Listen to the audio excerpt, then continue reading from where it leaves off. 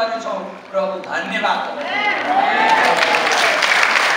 धन्यवाद प्रार्थना अब अब धमाधम गर्नेछौँ तपाईँहरूलाई म जानकारी गराउँछु केही समयपछि मलाई थाहा छैन प्रभुको समयमा चर्चमा हामीले जग्गा पायौँ भनेर धन्यवाद हामी प्रार्थना।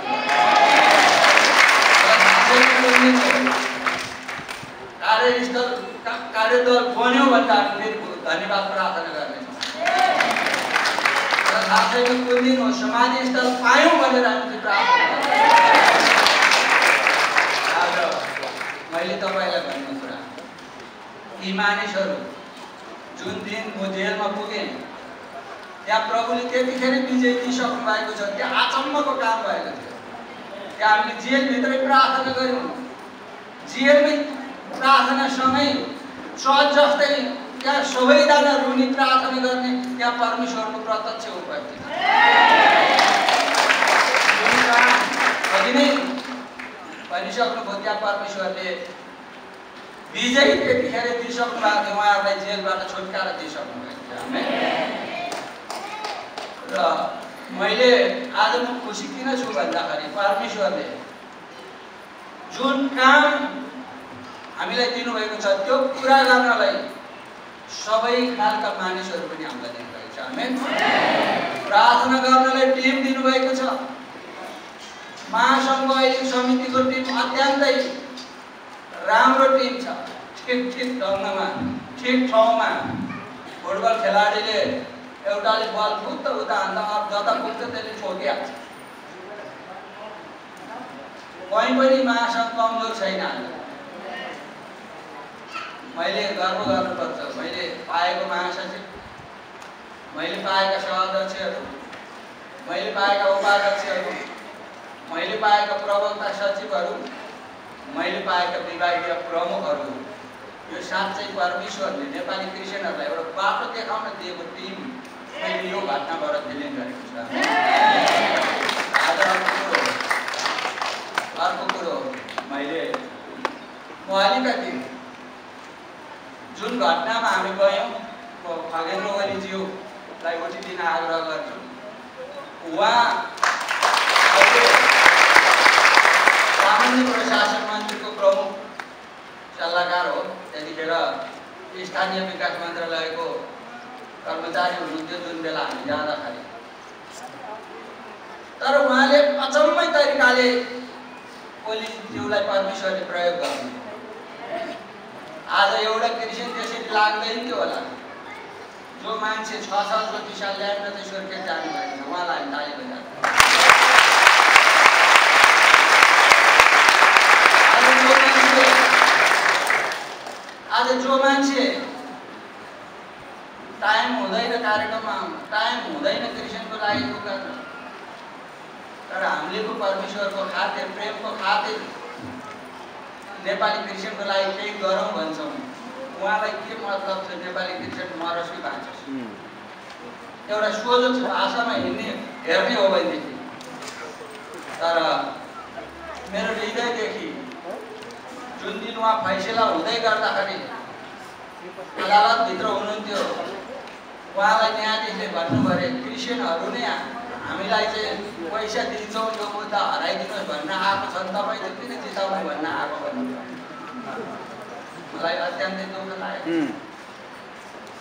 उहाँलाई यो अर्थमा पनि राष्ट्रिय क्रिस्चियन महासङ्घको तर्फको अध्यक्षको हैसियतले उहाँलाई म सलाम गर्छु।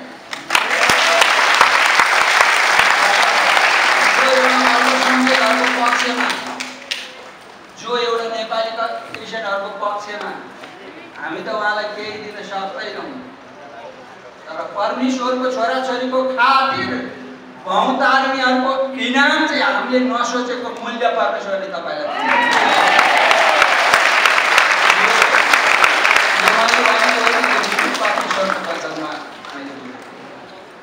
म राजेश तिवारी तपाईँहरूको बिचमा आज म देख्न उहाँ जो राष्ट्रिय क्रिस्चियन महासङ्घको अन्तर्राष्ट्रिय सल्लाहकार पनि हुनुहुन्छ उहाँ जेलभित्र पुगेर धुरु धुरु रुनुभयो जेलभित्र पुगेर उहाँलाई पत्कर लागेको थिएन अरे नेपालको धर्म बनाउनु क्रिस्चियनलाई थुन्छ जेल हाल्छ भनेर उहाँ जान्छु भन्नुभयो ल हिँड्नुहोस् भनेर लग्यो जेलभित्र पुगेर धुरु धुरु रुनुभयो तर हामी क्रिस्चियन भएर कति रोयौँ कति हामीले उनीहरूको लागि गऱ्यौँ उहाँलाई उठिदिन आग्रह गर्छ। हामी ताली बजाएर उहाँलाई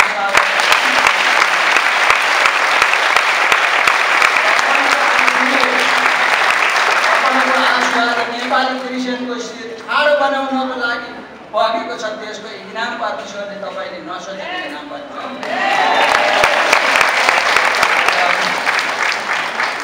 जेलभित्र पनि भने मेरा यी मान्छेहरूलाई मैले सोधेँ। सबै कुरो मैले बुझेँ? नबुझिकन हात हाल्दिनँ जेलभित्र उहाँको कुरा सुने तिन दिनदेखि नखाएर प्रार्थना मात्रै गरिरहनु भएको रहेछ उहाँहरू सिडियो पनि डराएछ जेलर पनि डराएछ नखाएर अब मर्नेको हाम्रो जाने जाने तर उनीहरू परमेश्वरमा चाहिँ भरोसा गरेको थिए हामी परमेश्वरमा भरोसा गरेको थिए उनीलाई न मलाई यति दिन यति सधैँ तोक्यो भन्ने थाहा थियो यी मान्छेहरूलाई। न यी मान्छेहरूलाई चाहिँ हामीले गल्ती कति गऱ्यौँ भन्ने थाहा थियो। उनीहरूलाई यति मात्रै थाहा थियो। त्यो दिदीको मुखबाट मैले सुने हामी केही जान्दैनौँ प्रभुको इच्छा जे छ त्यही पुरा हुन्छ। मैले त्यो सुनिसकेपछि आज तपाईँहरूको बिचमा म भन्छु। मैले आज बाह्र वर्ष लगभग भएछ मैले महासङ्घ र सुझाव समिति क्रिस्चियन समुदायको बिचमा राष्ट्रिय नेतृत्व गरेको मैले आँसु बगाएको समयदेखि सबैभन्दा बढी यी मानिसहरूको लागि मैले आँसु बगाएँ यो कुनै नामको खातिर होइन। यसो ख्रिस्टलाई स्वीकार गरेको मानिसहरू चाहिँ निर्दोष मानिसहरू जेल पर्नु हुन्छ यो देश हाम्रो होइन। यिनीहरूको पक्षमा बोल्ने खोइ मान्छे। यिनीहरूको पक्ष न्यायको पक्षमा बोल्ने खोइ मान्छे। अघि वचनमा भने जस्तै अहिले पनि यिनीहरू महासङ्घको नाम पनि थाहा छैन सिपी गहतराजको नाम पनि थाहा छैन। यिनीहरूलाई यति मात्रै थाहा छ प्रभुले हामीलाई जे गर्नुहुन्छ राम्रै गर्नुहुन्छ। यी सोझा साझा मिथ्या मानिसहरूलाई झुट्टा आरोपमा फोटो खिचेर ल्याएर पछि सिस्नु टिपेर ल्याएर झुन्ड्याएर फोटो खिचेको देखाएर आज एक वर्ष। दुई महिना यिनीहरू जे परे। मैले हिजै पनि बाटोमा आउँदै गर्दा उनीहरूसँग धेरै कुरा गरेँ। तर सल्यानको अरू कसले चिन्छ आज तिमीहरूलाई विश्वका मान्छेहरूले चिन्छ। आज कल्याणको मान्छेलाई मात्रै नभएर अदालतले घोषणा गरेको बोक्सी आरोपको अदालतको केस उल्टाउने काम चाहिँ यो नेपालको लागि पहिलो रहेछ र मैले थाहा पाएँ हिजो बाटोमा प्रार्थना गर्दै आएको थियौँ त्यहाँ कानुनभन्दा पनि माथि चाहिँ परमेश्वर मात्रै हुनुहुन्छ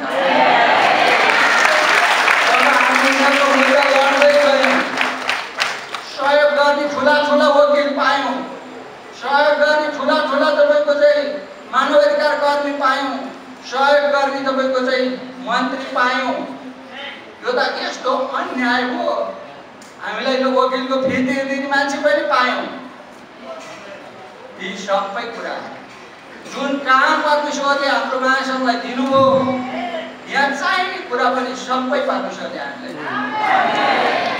म फेरि परमेश्वरलाई जोरदार ताली